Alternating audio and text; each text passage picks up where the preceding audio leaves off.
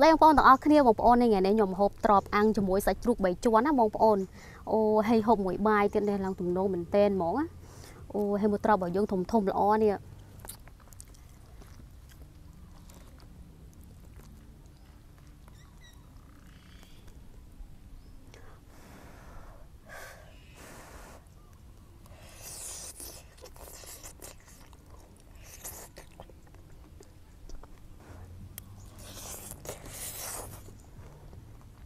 អូឡើងជាតិហ្មង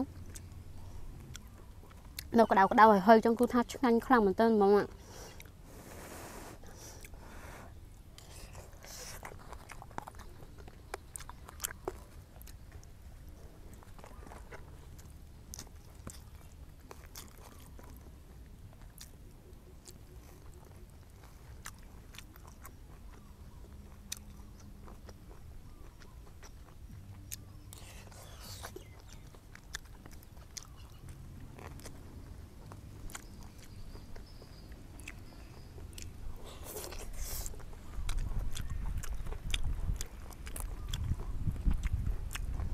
ហើយអាំងសាច់ក្រប់របស់យើងគឺថាឡងផ្អែមឆ្ងាញ់មែនតើហ្មង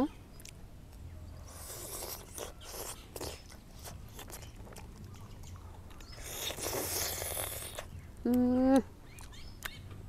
អូនៅក្តៅក្តៅយើងឆ្ងាញ់ណាស់បងប្អូនអើយ